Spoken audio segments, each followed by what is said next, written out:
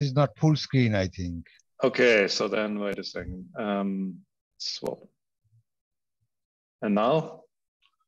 Not, yeah, now it's full screen. Yeah, thank Good. you. Yes, yeah, yeah, no problems. This is yeah. always a random Maybe, choice. Yeah, yeah, have, we have two minutes. So let me introduce you first. Yeah. So mm -hmm. our next speaker is Professor Martin Plenio.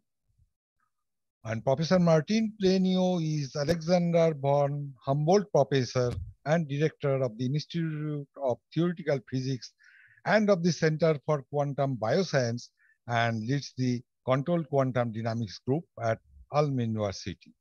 His research interests are in quantum technologies, quantum information science, and quantum biologies. Uh, and in particular, Martin Plenio is a very famous theoretical physicist uh, and in particular, when I started working in around 1999, then I used to see so many papers, especially on hmm. relative entropy of entanglement, uh, written by Professor Plenio, Vedral, and other co-authors. Mm -hmm. uh, so his his vast areas of interest consist of quantum technology, quantum information science, quantum metrology, quantum biology that I told already, quantum statistical mechanics and quantum many body physics. So I think, yeah, we can start. Okay, over to Professor Plenio. Okay, thank you very much. And thank you for the very kind introduction. Um, so today, um, I will not talk so much only about the information theory, but I'm also trying to apply it actually um, to testing low energy aspects of, of gravity in the laboratory. So this will this talk will have some practical aspects, some discussion about um, what can and can, can go wrong and what uh, may not go wrong in these schemes. But also then uh, in the second part of the talk, I will connect it actually to information theoretical questions and um, really hard information theory. Okay, so let's get started. So what is this uh, whole talk going to be about? And um, so you, you may know that um, almost all the forces in nature, like electromagnetism uh, as the particular example, strong force, weak force, and all these, these forces, we have already verified that they are uh, quantum mechanical forces, um, by which, for example, we mean that they can entangle things. Um, the one force that we don't know this, strictly speaking, is gravity. And this is because it is really very weak. And uh, this is uh, particularly troublesome because unlike all the other forces, gravity has not been unified uh, with, uh, with, with quantum mechanics and uh, there is no theory, no widely accepted theory of quantum gravity. Um, and, and from an experimental point of view, the reason for this problem, problem is that gravity is so weak and from a theoretical point of view, it's, it's just that the structures of uh, theory, gravitation, and uh, quantum theory are really rather different. And it's not so evident how we uh, actually can combine them. And this is not a new question at all. Uh, in fact, um, already in the early days of, relatively early days of quantum mechanics, um, people have started to wonder how can we formulate a theory of quantum gravity? and, and people had problems. And, and so in, they also started to discuss, do we actually need to quantize gravity? And uh, this happened, for example, in, in, the, in the Chapel Hill Conference in 1957, which was uh, about the role of gravitation in physics. And uh, there was indeed a discussion um, whether it might not be just possible to, to leave gravity classical as it is and, and have some quantum mechanics for, for massive uh, bodies. And so there was a lengthy discussion about that. And one of the participants in the discussion was Richard Feynman. And uh, he actually chose um, a particular example, a thought experiment, um, to, to maybe highlight where might be a problem, where there might be a problem. And so he thought, uh, uh, in essence, he thought of the following. He gave a slightly longer explanation, but um, uh, in essence, he was thinking about a small uh, a, a, ball, which is a, a, massive object, and that he would actually, by some means, would place this in superposition. And so there would be a spatial superposition of the mass being uh, displaced up or down. And then he considered that there would be somewhere nearby a test body, also a massive particle. And by some miracle, um, or not miracle, but by extremely careful experimental design, um, the experimentalists would make sure that the only forces that would be acting between those two bodies would be gravity. Anything else would have been uh, removed. And then the question is, what will happen? Because uh, now we have this ball in super, spatial superposition, and well, what we will expect is that the upper ball, the upper um, ball, the upper part of the superposition, will pull this test body upwards. The lower part will pull it downwards, and so we would end up with a state of this form, which um, would be a coherent superposition of both balls being displaced upwards and both balls being, being displaced downwards. And um, at the time, he didn't call it like that, but uh, in today's parlance, uh, this would be an entangled state. And that um, is rather a different state compared to um, a classical a mixture of the two particles either being displaced up or being down, displaced down. So in one case, we would have classical correlations only. And in the case where we have an entangled state, we have quantum correlations. And we certainly know nowadays, and Feynman knew at the time also, that these two states would be rather different and would actually lead to observable differences in experiments. And therefore, um, he said that if we believe that uh, gravity is quantum mechanical, we will get a disentangled state. If we do not believe it's uh, quantum mechanical, then we will end up with a classically correlated state, and that would give very big differences in experiments. So that would be was perhaps the first experimental test that was suggested uh, on how to determine whether um, gravity is a quantum mechanical force or not.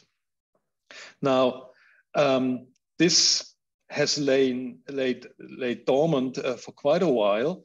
Um, and, and more recently, um, uh, quantum information scientists have picked up on this again and repeated uh, basically this, this train of thought and um, uh, formulated it in the quantum information language and, and really basically made a definition. And they now said, we consider the gravitational interaction classical if it cannot entangle particles, or more generally, if it does not allow us to create a coherent quantum channel. Yeah. And um, now, now we can think, okay, why don't we just do this experiment? And you have to remember that certainly in the times of Feynman, in 1957, what he proposed was really almost beyond crazy uh, in experimental terms, because it's not so, in, those days, in 1952, for example, Schrödinger made this famous statement that, um, that we really don't, uh, sometimes as theorists, we might consider thinking about experiments with single atoms. And this invariably entails some ridiculous consequences. But in, in reality, we are not experimenting with single particles any more than we can raise dinosaurs in the zoo. And so really even thinking about an experiment with a single atom in 1952 was really inconceivable with the technology of the day.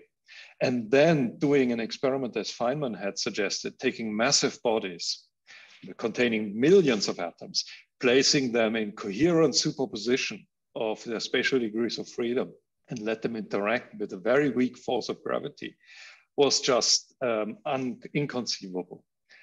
But nowadays, actually the situation has changed. At 70 years, humanity has worked to improve our control of quantum uh, systems. And nowadays, we can place many, many um, types of massive systems in coherent superpositions. We can cool them near the ground state um, of their uh, position degree of freedom. And that this is shown in this graph here. So you have here oscillators of different masses. So that means here on the left-hand side, that's a single electron.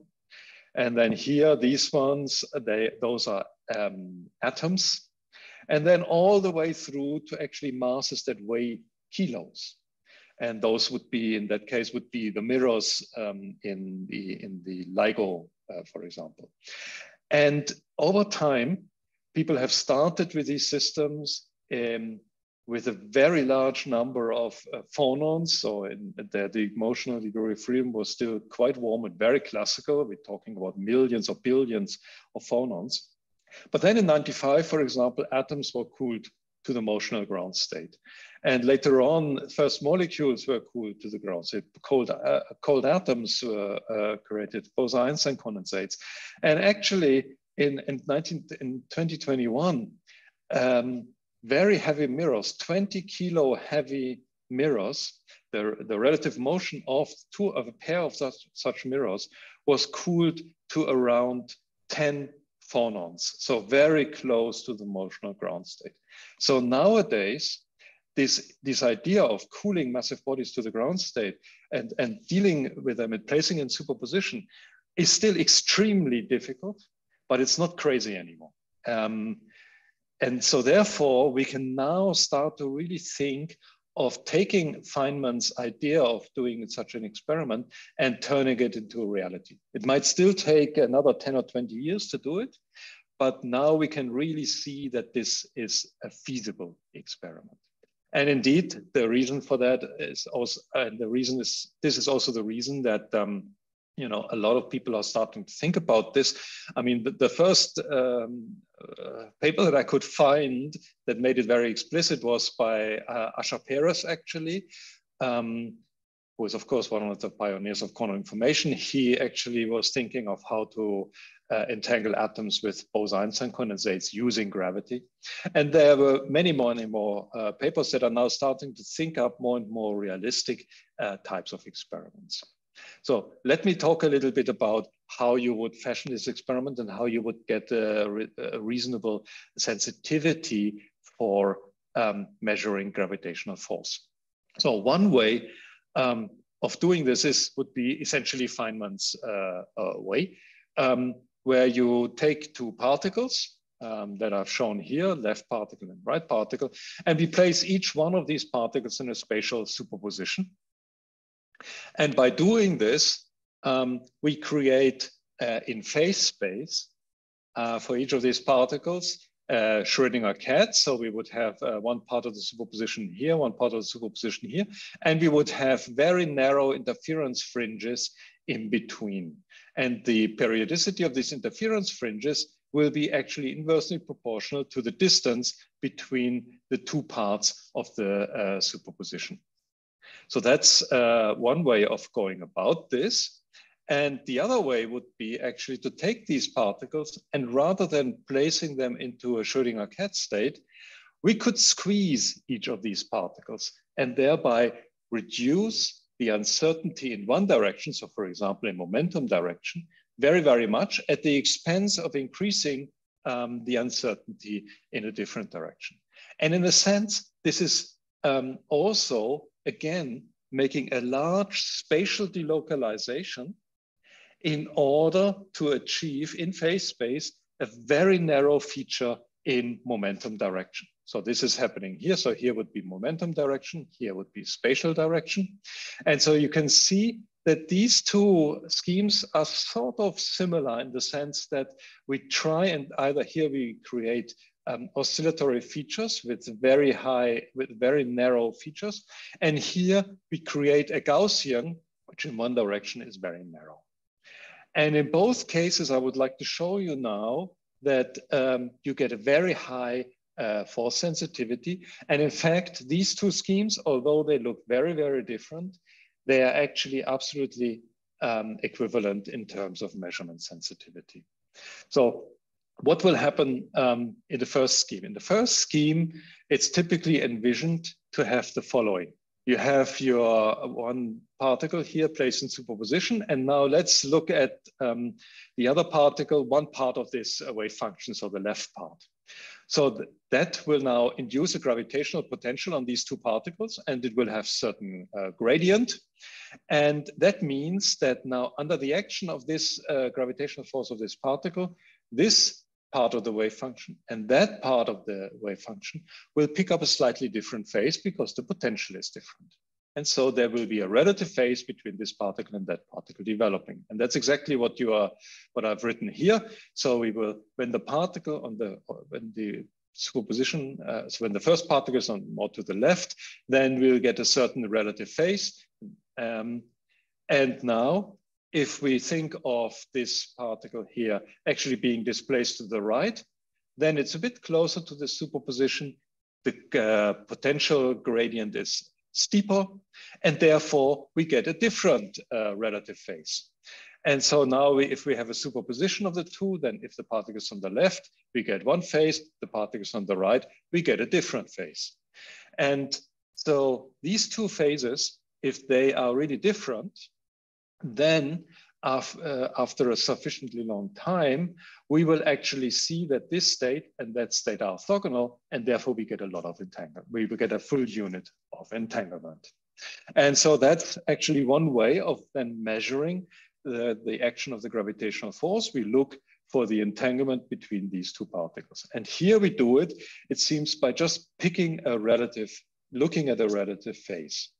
And that is quite natural to think of it like that, because if we want to do precision measurements in science, often what we do is we try and translate the measurement, the observable that we, the, the, the, the, the quantity that we want to measure into a phase change, because in experiments, what we can control very well are phases and relative phases. So now, this is not what Feynman thought ex explicitly. I mean, he thought of a displacement of particles. So rather different. And it seems initially that this is really not a clever way of doing things because displacements seem to be things that, well, they're not relative phases, so they're much harder to measure. So let's have a look again. So sorry, this is shouldn't have been there. So let's think again now, but now about the squeezed states that we have. So we provide a state that is very strongly delocalized in position and very, very narrow, very small uncertainty in momentum. And for simplicity, let me argue again that we, uh, the other particle here is in a coherent superposition of the particle being on the left or the right-hand side. So what will happen if this particle is a bit farther away, then it pulls less strongly on, on the particle B, and therefore it will be accelerated less, and therefore it suffers less uh, of a momentum displacement. If we are on the right-hand side of the superposition, then we are closer to the particle, we exert a stronger force, therefore we exert uh, a larger change in momentum. And so this is exactly what we will see here. We are on the left-hand side, we get one displacement. If we are the first particle is on the right-hand side, we get a stronger displacement. And now we can see what will be the condition that we will get strong entanglement here? Well, the two displaced states have to be orthogonal on each other. That means they have to be displaced by an, in a momentum direction by a an amount that is larger than the uncertainty in momentum in that state. In that case, we will get um, also an entangled state. And so now the question is, which of these schemes will actually be more sensitive? And um, to see this to study this a bit more. Um, now let's have a look um, at the what is happening here in phase space. So here on the left-hand side, I have a, a, situation now where I change, I have a Schrodinger cat state, and I change the relative phase between the left-hand side of the Schrodinger cat and the right-hand side of the Schrodinger cat.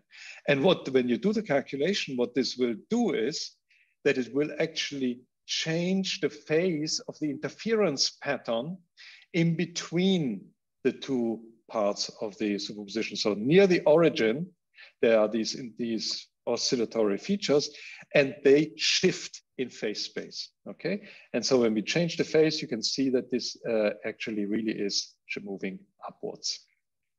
Okay, so that's uh, one thing that is happening.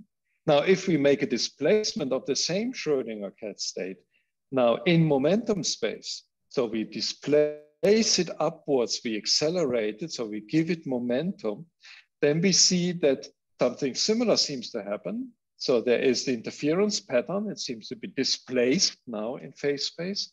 And we have here the Schrodinger, the, the, the left and right hand side of the Schrodinger cat. They will also be displaced. Hand side, displacement, left hand side, relative phase. So how do they relate to each other? So let's have a look by showing both of them.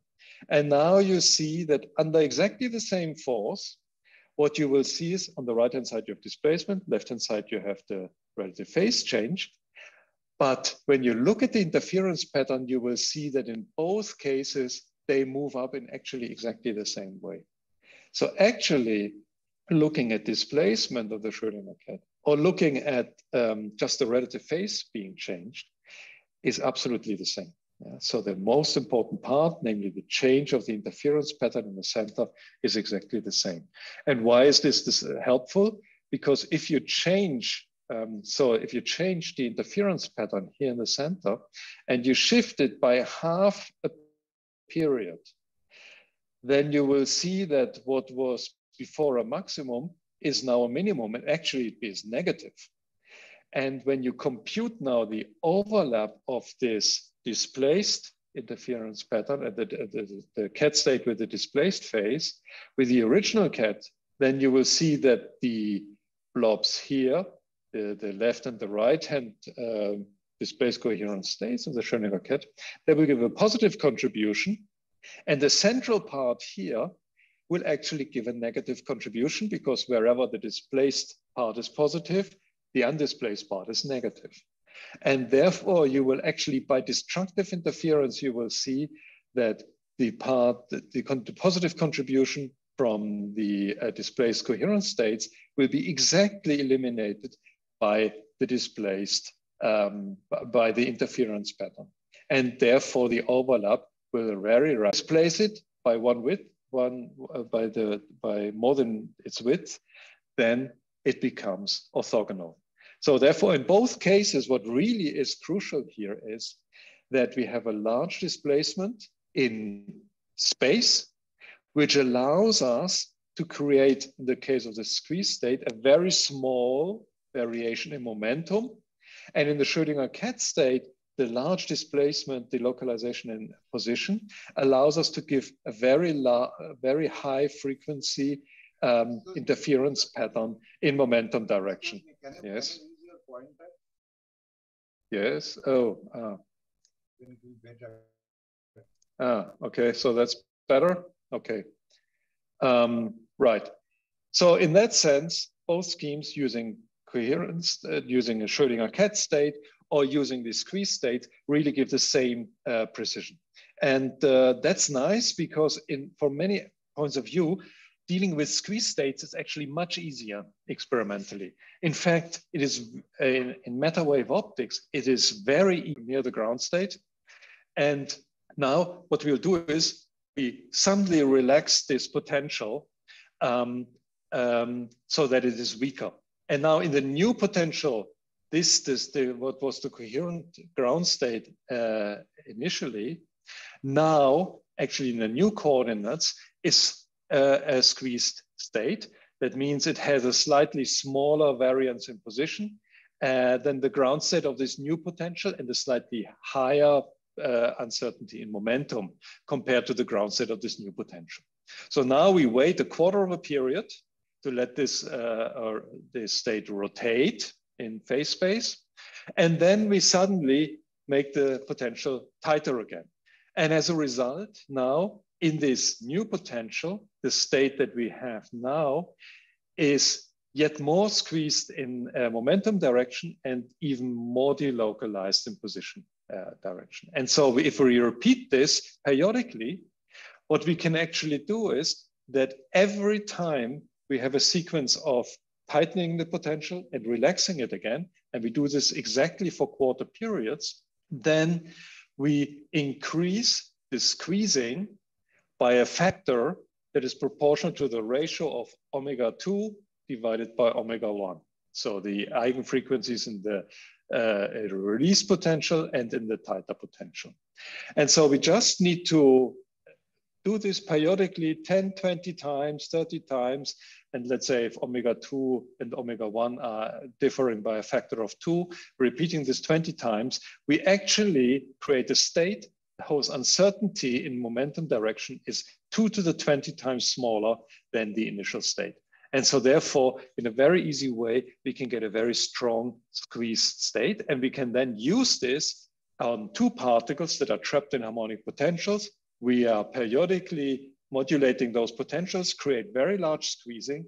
And then when the squeezing is large enough, then even the weak interaction due to gravity will lead to strong entanglement between those two particles. And that's uh, what you can see here. So that would be the setting. We periodically uh, modulate the potentials. And what we will see then is that initially the entanglement does not grow very much because the uncertainty is still too large in space. But then when we have modulated often enough and the squeezing is so small that in a short time, we can displace the particle due to gravitational force by more than the uncertainty of the state, then entanglement grows. And that's what you see here then in this plot, no entanglement, then it rapid, rapidly grows. And then depending on what you, how you continue the protocol, it either stays constant or it is uh, reduced again. And so in this way, this might be a scheme where now you can actually do within maybe a few hundred milliseconds a measurement of the gravitational force and the displacement that it creates and the entanglement that gener is generated by it. So that's great. So that looks very promising. But the problem, of course, here is that um, this was an idealized setting. There was no noise, there was no imperfections. And so we really have to think about what happens in such protocols when there is a realistic amount of noise in the system will lead to a random acceleration of the particles. And so any noise source can actually be uh, quantified in terms of a random acceleration. And um, now you see here, the black curve is uh, what you get when you, when you have um, a very, uh, if you have a noiseless system. And then the blue curve is the, is the result that you get when you have a random acceleration that is 10 to the minus 17 meters per second squared. So well, everything looks still pretty good, but then you see if you just increase this random acceleration a little bit to let's say seven times 10 to the minus 17 meters per second squared, then already you decrease the amount of entanglement that you can get at best by a factor of 100. And so that looks uh, pretty uh, bad. But I mean, at the moment, I would say for you, it's not clear whether 10 to the minus 17 meters per second squared is a large acceleration or a small acceleration. So let's put this a little bit into perspective. So imagine we do our experiment. We have these two masses and um, we um, put one of these masses happens to be not electrically neutral. So it has one excess electron on it, a single one. And um, let's uh, assume that um, at a distance of 20 meters from the experiment, there's another excess electron sitting. Or let's say it's coming into being and, and it's let's say the charge is fluctuating by one uh, electron charge at a distance of 20 meters. On a body of one micron diameter, this will give a random acceleration of about six times 10 to the minus 17 meters per second squared. If, um, let's go to a, a different um, part, if you, let's say, if you have a diamagnetic particle and it's sitting in a 0.1 Tesla magnetic field, and a random magnetic field gradient comes into existence at of 10 to the minus 12 Tesla per meter. That gives eight times 10 to the minus 17 meters per second squared acceleration. Or if there's a mass fluctuation, one kilometer from your experiment, um, then this mass will exert a gravitational force which leads to an acceleration of six times 10 to the minus 17 meters per second squared. So this kind of shows you that even the tiniest imperfections in the experiment will lead to accelerations that are so large that actually they will create a noise that destroys observable entanglement in the experiment. So you will certainly have to be very, very careful and clean up your experiment to a large degree.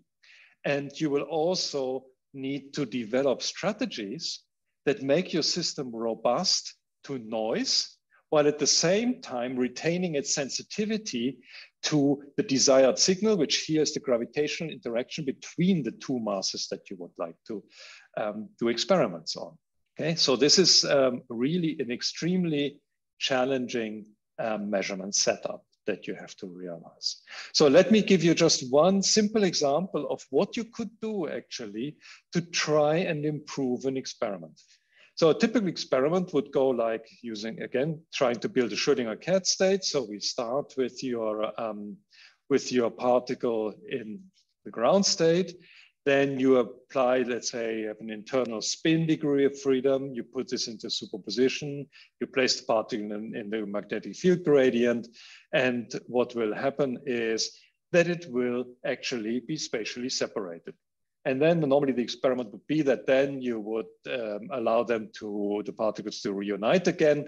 And then you would have made some kind of Schrodinger cat state that uh, you could undo at the end and you can make interference experiments and by interference experiments you can actually measure relative phases that may have built up in the system so the interference pattern here for example will depend on whether this part this superposition will become entangled with some other um, mass some distance away. Now, the problem is that, of course, this kind of superposition will actually um, dephase very rapidly if there is a random force or random acceleration applied to these particles here, because then they move in the in the magnetic field, in the magnetic field gradient, they pick up therefore a random phase, and that accelerate that uh, that randomizes things. So, what can you do to prevent this? Well, you could actually try and symmetrize the paths that are taken. So here again, so we have the first step already, we have created the superposition. Now I can flip the spins and I allow them to move again in the magnetic field gradient. And now they move um, into uh, from the left side to the right side and vice versa.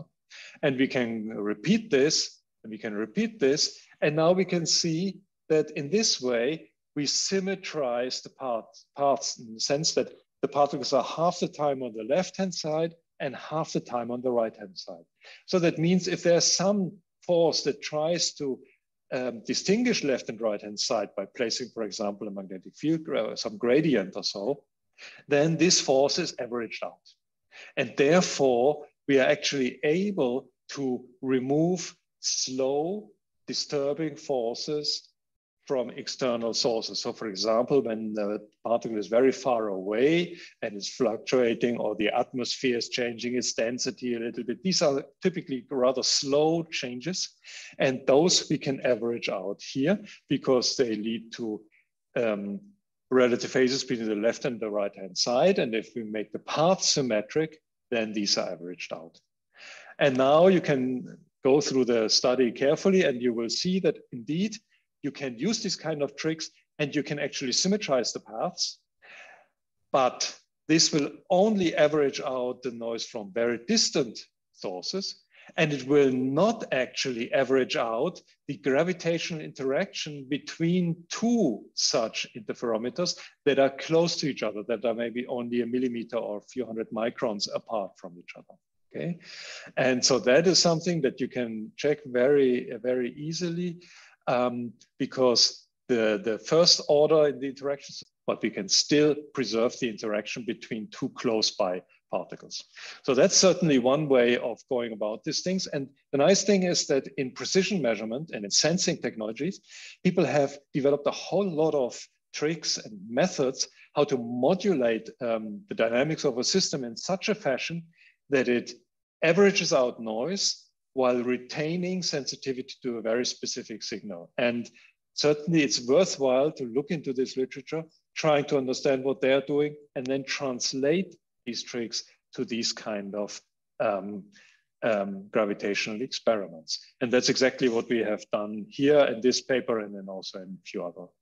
But another thing that one would really would like to do is one would like to accelerate experiments because no matter how well they are uh, insulated, the faster the experiment, the less time the noise has to build up, um, to destroy uh, your uh, coherence and therefore destroy the gravitational signal.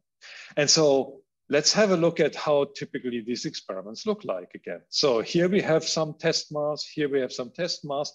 They're very light. They will interact with each other gravitationally over a certain distance, a few hundred microns or so. And over a few hundred microns, gravitational interaction is really very weak. And it's basically proportional to the mass of this body times the mass of that body. And typically in the experiment nowadays, we can, we can only control cool to the ground state masses that are maybe of 10 to the minus 17 kilos or so. And that makes for extremely small gravitational interactions. So why not try and enhance this interaction? And one thing could be, why not place a heavy mass in between? Some object that is many, many times heavier, maybe let's say a kilo, then this body here will interact now very strongly gravitationally with this body because the gravitational interaction is the mass of this is proportional to the mass of this body times the mass of that body. And now that is of course a lot larger than the direct interaction between these two light test masses. So now there's the hope that we have here a strong gravitational interaction we have here a strong gravitational interaction. And now we can try and we can hope that in effect, this particle and this particle become entangled much more rapidly uh, via this heavy particle in between as compared to their direct interactions. So that was the hope. And uh, initially we tried for almost a year playing with parameters and it just didn't work. And the problem was that we had to place, we had to make this mass so heavy that this gravitational interaction here was so strong that actually it made the particle unstable in its potential. So it was pulling so strong that it was actually really drawn out of the potential and, and, and then the, the, the experiment would not be mechanically stable, it wouldn't work. Um, but then at some point we started to think, okay, let's turn this back into a feature and let's go to a slightly more complicated situation. Let's take actually a double well potential where indeed the particle is not stable when it's sitting here, but it would be stable when it's either sitting on the left-hand side or the right-hand side. And so if we have this um, double well potential, then we have here two near degenerate states that are uh, superpositions of being on the left-hand side and the right-hand side. And this forms an effective qubit. And this will interact with the central mass and the central mass will interact with this particle. So again, this is still not good enough because we still don't have a very strong interaction. And it turns out that the best thing that we could do is we keep one of the interactions here gravitational and the other interaction actually we can make non-gravitational, for example, electromagnetic. So the Casimir force, for example. By moving this potential, this particle here quite close to the heavy mass, we will get very strong Casimir forces. And now we are interested in the, still interested in the entanglement of this particle here with that one. And if gravity would be classical, there would still be no entanglement between this particle and that particle because this mediating interaction then would be classical. Okay, so this experiment will still test for the quantumness of the interaction between this particle and the heavy mass, and therefore between this particle and this other test mass. Okay, and so now we had to go through uh, calculations and we found something really quite interesting. Namely, we got entanglement between this particle and that particle, even if this heavy mass here was not cooled to the ground state, but was in a thermal state. So that is um, what we see here.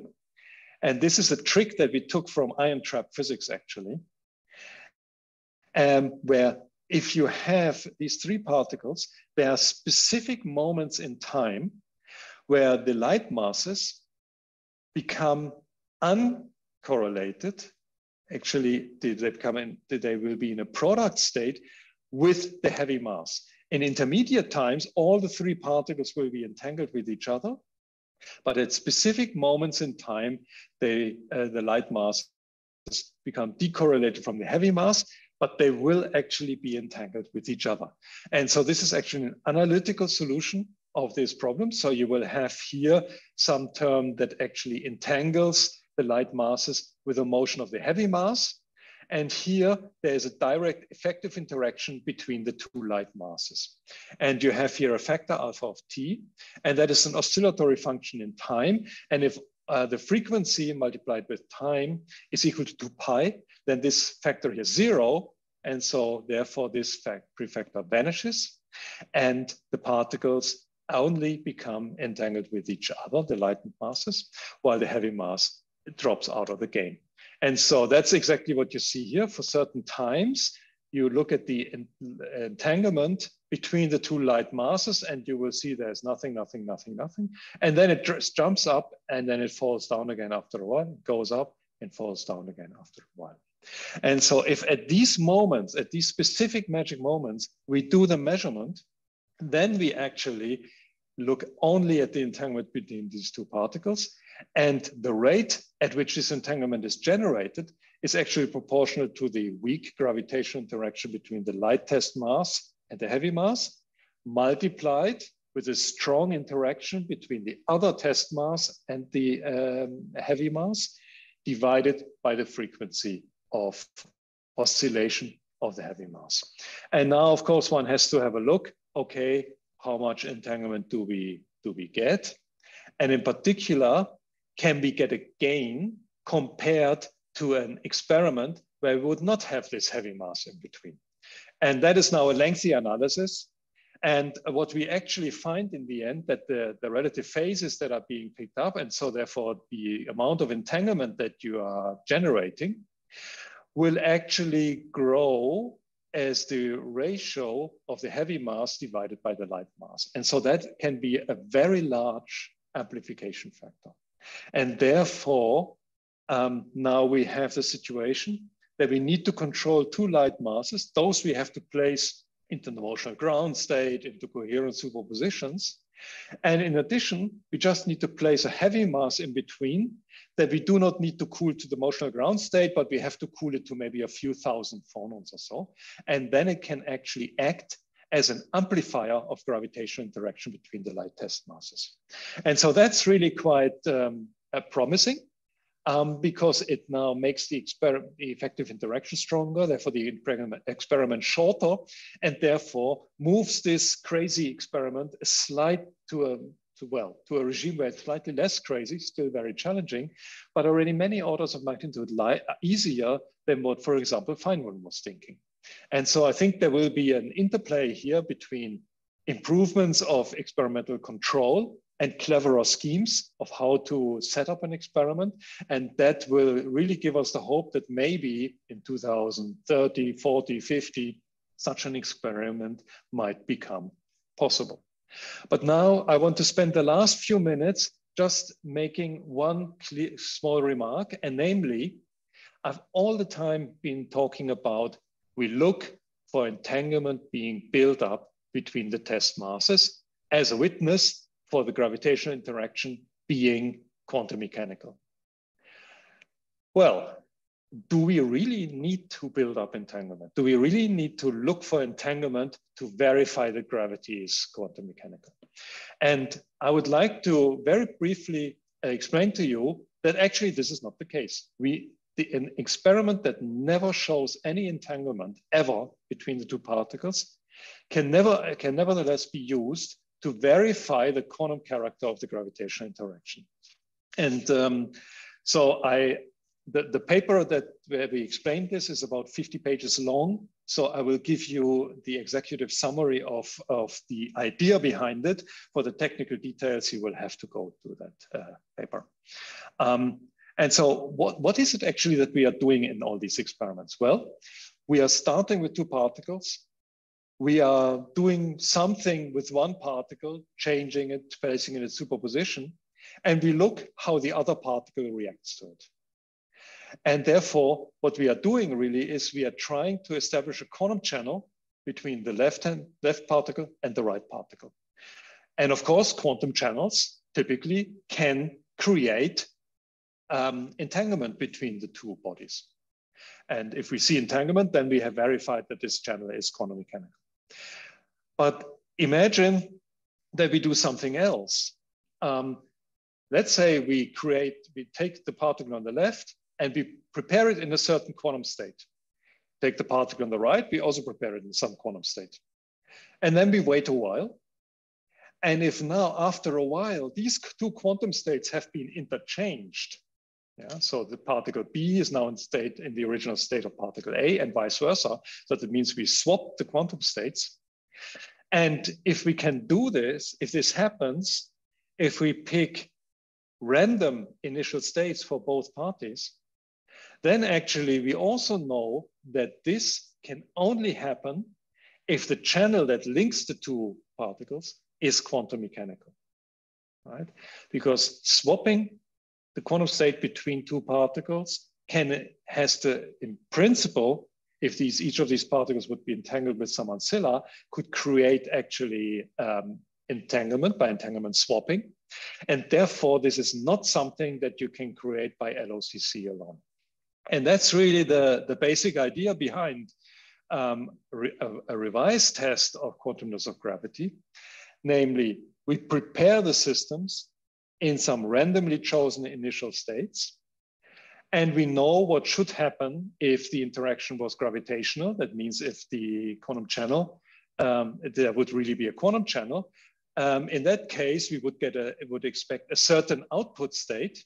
And so at the end of the experiment, we test whether this output state is present or not.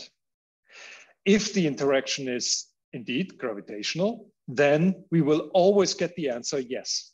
So with probability one, we will get a particular measurement outcome. So that's great. But if the interaction is a channel that is created by local operations and classical communications, then what can we do? We have to make a measurement, some kind of measurement on the, on the initial state of the system. Then we transmit some by classical communication, some instructions, and then the final state is recreated. And um, in that case, we perturb the system, and therefore we expect that the fidelity will not be perfect. And indeed, this idea you can turn into really mathematics, and you can actually provide rigorous upper bounds on the uh, uh, fidelity of the states that you want to prepare, and in particular also on the maximum probability with which you determine, which with you will detect the outcome that you would expect from a gravitational interaction. And so now you can do an experiment and you just uh, repeat it many times. You establish the probability statistics. And if the probabilities are sufficiently close to one, then you can actually rule out an, uh, a local operation and classical communications model for gravity. And now the interesting thing is that you can do this with harmonic oscillators and coherent states. So you prepare your harmonic oscillators initially in some displaced vacuum state, so the coherent state. The interaction is extremely well described between those two particles by a, a, something that's equivalent to beam splitters. So that means that actually the, the dynamics, when it starts in coherent states, will never, ever generate any entanglement. The, system, the two systems will always be in a product state. And so now um, we pick the uh, sufficiently many random initial states. We measure always the initial, we prepare an initial state, we measure the final state, and then we look at the fidelity that is achieved. And if it exceeds a certain value that we can derive as a bound rigorously, then we know the of being gravitational, uh, quantum mechanical. If it is below, we cannot say anything because maybe gravity is still um, quantum mechanical, but maybe there was too much noise in the system. But here we have now a situation where at no point in the experiment ever there was any entanglement. And nevertheless, we verify the quantumness of the channel that is linking the two experiments. So for, let's say, quantum, quantum information expert, maybe this doesn't come as such a big surprise because um, when you when you remember, for example, quantum cryptography, there are two schemes for quantum cryptography. One is the original scheme um, by, by Bennett, where they exchange um, via quantum channel particles, and there's never any entanglement involved. And then there's the other version, the entanglement-based version, which originally was actually proposed by David Deutsch in an early paper, but then uh, fleshed out further afterwards. And there entanglement is generated. And for a while, there were um, um, security proofs that were rather different for the Bennett scheme and the entanglement-based scheme.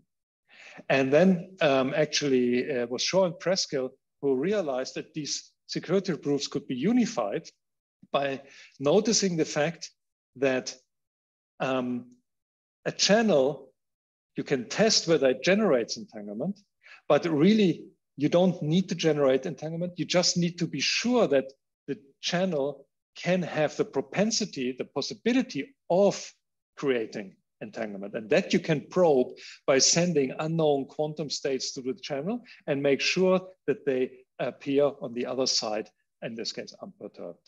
And so exactly something like this we are doing here as well. We are probing the channel sufficiently often with product states. And if the channel is always giving us the correct result, the one that we desire, then we know that if we were would have sent one half of an entangled state through this channel, it would have also created entanglement. Okay, so in a nutshell, entanglement generation is not necessary to verify the, the, quantum character of gravitational interaction. And this can actually have really important um, experimental consequences because some experiments that don't involve entangled states might be more robust than experiments that involve entangled states.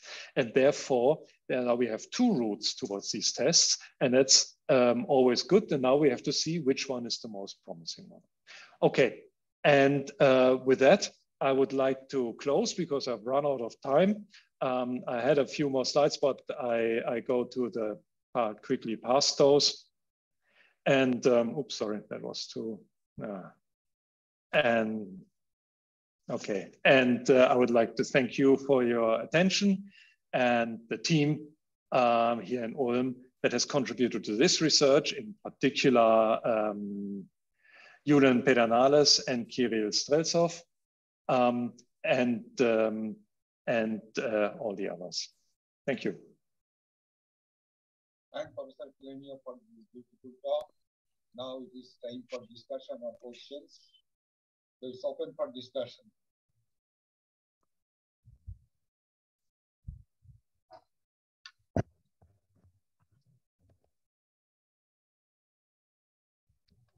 May I ask a question? Yes, of course. Yeah. yeah. Okay, so here you said that uh, since the two distant particles are being entangled, so we can say that the gravity acts like a channel and it is creating the entanglement, right? Yes. So since we know that there is this monogamy property of entanglement, uh, does it can it mean that gravity can also have this type of monogamy property, or how, how do you explain then this monogamy of entanglement? Um, of course, um, so if, if, if gravity is a quantum mechanical force, then it will generate entanglement. Then all the laws of entanglement that have been uh, determined, like, I mean, the monogamy, monogamy of entanglement, will of course also um, be seen here. Um, one particular place where you had seen the monogamy of entanglement actually implicitly, although I didn't state it like that, was here. Because what happens here is that, um, let's say at, at this time here, we are looking at the entanglement between these two light uh, test masses, yeah? and we see there's no entanglement. Well, why is that? because actually these two particles are also entangled with uh, the heavy test mass. And so you have a tripartite entanglement. And because you have this tripartite entanglement, you when you trace out the heavy mass, you don't see any entanglement at the level of the test masses. Yeah. And so that's in a way, it's a manifestation of the fact that you cannot uh, share uh, entanglement uh, indiscriminately between all these masses. And at this moment, the two, at the time 2 pi here, there you see strong entanglement between the test masses because they are not entangled anymore with a heavy mass. Yeah. But so, isn't it counterintuitive that gravity is not additive and it's it has a monogamy property, if it is quantum at all?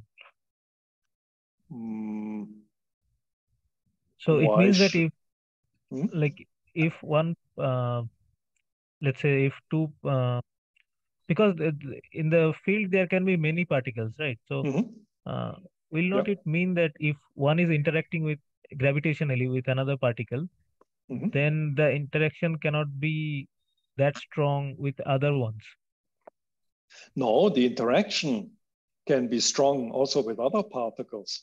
But then now the question is what state will be generated by this interaction? And typically, what will be generated will be a multi-particle entangled state where the correlations are distributed across all the particles. And now if you would say, oh, and now I want to look only at two of them, and then of course I trace out all the other ones and this typically destroys some of your observable entanglement. Yeah, but so you have multi-particle entanglement now. And that's exactly the that's exactly the same that would happen if you take, let's say, charged particles, several charged particles, and you let them interact. And there, I mean, we know, I mean, electromagnetic force is clearly a quantum force, and we will get exactly the same behavior. I mean, we will get a multi-particle entangled state, but if we look at only two part two particles of that state, typically these will share very little observable entanglement. Exactly because of this monogamy. Yeah. Mm-hmm. Also, one thing I wanted to ask, so without entanglement, can you really certify that it is the gravity is quantum? Or if, if it doesn't satisfy any kind of non-locality thing or any violates any inequality, can you really certify that gravity is quantum? Yes. So, in I mean, that's I mean, really the idea here is that I mean, so what does it mean that gravity is uh, quantum mechanical? Well, it establishes a coherent quantum mechanical interaction between two particles and therefore a quantum channel. Yeah. So now we can test this quantum channel either by passing one half of an entangled state through it and see whether the entanglement arrives on the other side. Or we can probe this channel by feeding it randomly chosen quantum states and check whether they appear on the other side unchanged. And uh, that would be one way of, for example, of testing uh, whether a channel um, produces exactly the identity. Yeah. And so more generally, when we say a channel is some, we expect that a channel is some unitary, then we can probe it by the way in which it transforms randomly chosen input states into output states. And if it was an LOCC channel, this fidelity would never be perfect, right? Um, while if it's a quantum channel, you can make, uh, you can produce exactly the uh, desired output state. And then, so in that sense, it, you're using inequalities, but you're not using Bell inequalities. Yeah. So you're using, an, uh, you're using inequalities uh, which basically bound the fidelity with which you observe the desired output state if gravity was quantum mechanical. And if this inequality is violated, then quantum mechanics is, uh, gravity is not quantum mechanical. But how do you know that there were no other interactions except of gravity? Exactly. So this is a very good question, and that has to be made sure experimentally. Yeah, and uh, this is this is really a very subtle um, uh, thing. So we know, fortunately, we do know all the other forces in nature, and we also know how their force laws are. So in fact, what we need to do is we need to make the separate the particles by a sufficiently large distance to make sure that, for example, the Casimir forces are negligible because they drop off like one to the uh, uh, the distance to the seventh power. And we have to make sure that the particles are discharged, that they don't have dipole moments, and, and so on. So this, these experiments will not be just experiments where we look for entanglement or we look for having probed this quantum channel. We will also have to make experiments that rule out the presence of other quantum mechanical forces um, being present in the system. So only then this will be a really a conclusive test. And in fact, I mean, it becomes even more subtle. There's a part of the talk that I did not really um, um, come to, uh, which is uh, this one here. The, the point is, the problem is that we even have to test whether quantum mechanics at the level of heavy masses is still linear. So normally we say, okay, quantum mechanics is governed by the Schrodinger equation, which is a linear differential equation. And this has been tested for atomic degrees of freedom very well. But this actually has never been tested for heavy uh, masses that weigh maybe 10 to the minus 14 kilos or so. And if quantum mechanics is nonlinear, then actually we in a, in a, in a recent paper, we have proven that then weak residual quantum mechanical forces might be strongly amplified to mimic gravitational interaction.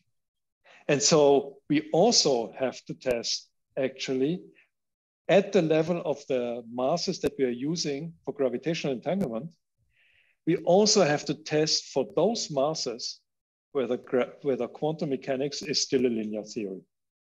I mean, I believe it is, but we have to test it because it is also such that if you try and write down a theory of quantum gravity, then there are formulations which actually lead to nonlinear quantum mechanics which is exactly the, um, uh, sorry, uh, if you write down a theory with where the gravitational field is classical and you try and preserve the quantum character of your masses, then actually it turns out that these theories typically become either noisy or nonlinear or both. And so these are the alternatives. So we have to actually rule out nonlinearity of quantum mechanics because only then we can really use this, uh, this test of the quantum channel as a witness for the quantum mechanical character of gravity. So this is uh, becoming actually quite subtle and in many senses, it will be probably a development, just like in Bell inequalities, where in the 1970s, um, there were the first experiments uh, that have just been awarded a Nobel Prize, which tested Bell inequalities, but Truth to be told, these were not loophole free. So there were hidden, local hidden variable models that were not completely crazy that could explain these experiments.